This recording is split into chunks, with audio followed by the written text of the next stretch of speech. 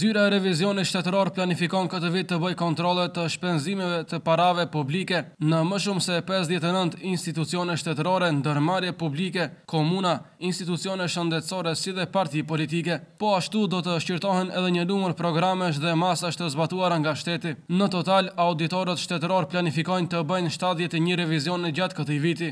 Burimet e agjencisë së lajmeve Zhurnal në revizionin shtetëror bëjnë të ditur se programi më optimist i revizionit është bërë dhe planifikuar këtë vit. Ai përfshin numrin më të madh të institucioneve dhe programeve krahasuar me vitet e kaluara, kur zakonisht kryheshin mesatarisht rreth pesëdhjetë revizione. Numri i shtuar i revizorëve, siç shpjegohet nga Zyra e Revizionit Shtetëror, është për shkak të faktit se kapacitetet e këtij institucioni të pavarur janë forcuar, kështu që me punësimet e reja që janë bërë numri i revizorëve është rritur, si dhe ndihmësve dhe personave teknikë. Kjo do të thotë që një numër më i madh i ekipeve të Zyrës së Revizionit Shtetëror do të jenë në dispozicion për të parë librat e shpenzuesve të parave të shtetit në terren dhe për të përcaktuar se si ata i përdorën fondet publike. Që u ishin vënë në dispozicion. Planifikimi vjetor i revizorëve kryhet në përputhje me dispozitat e Ligjit për Kontrollin e Shtetit, sipas të cilit arka e Republikës së Maqedonisë së Veriut dhe buxhetet e fondeve kontrollohen një herë në vit, ndërsa në subjektet tjera kryhen brenda afateve të përcaktuara nga Programi Vjetor për Punën e Revizionit Shtetëror. Thuhet në shpjegim,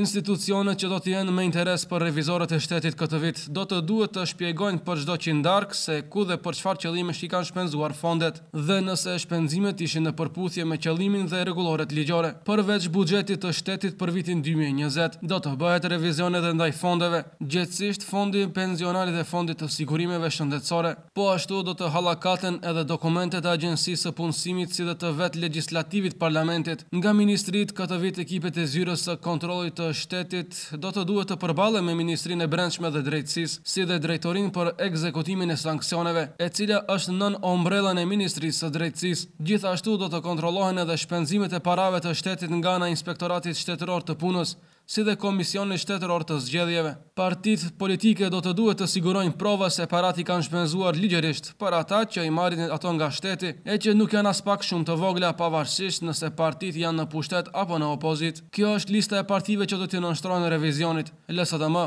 VMRO, BDI, Lëviza Besa, Aleanca për Shqiptarët, Lëviza për Bashkim Kombëtar të Turqve, GROM, si dhe PDSH. Do të shqyrtohen edhe shpenzimet e partive në zgjedhjet e rregullta lokale që do të mbahen në vjeshtën e këtij viti. Revizorët do të trokasin në derë edhe në tre fakultete pranë Universitetit Shën Kirili dhe Metodi, Fakultetin e Mjekësisë dhe Veterinarisë, Fakultetin e Arteve Dramatike dhe Fakultetin e Dizajnit dhe Teknologjisë. Revizion do të bëhet edhe në Institutin Kombëtar Opera dhe Balet, Filharmonia e Maqedonisë, Gjykatën e Apelit të Shkupit, Gjykatën Themelore në Tetovë, burgun e Shkupit e të tjerë. Revizorët do të lexojnë edhe librat e shumë institucioneve shëndetësore si dhe disa komuna urbane dhe rurale. Revizioni shtetëror do të shqyrtojë edhe efektivitetin e masave ekonomike të qeverisë për të trajtuar krizën e shkaktuar nga Covid nëntëmbëdhjetë, si edhe efektivitetin e masave qeveritare për barazinë gjinore. Revizorët gjithashtu do të shqyrtojnë menaxhimin e borxhit publik, pra borxhin e Maqedonisë së Veriut,